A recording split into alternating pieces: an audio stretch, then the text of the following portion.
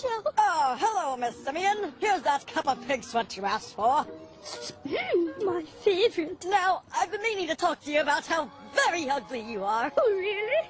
I used to think that you were just regular ugly, but now that I'm up this close, I see that you're full-on mega gross. Makes me want to kiss you. Mwah. Mm, you taste like garbage quiche. I'm sorry, I didn't catch that. I was distracted by your rancid breath.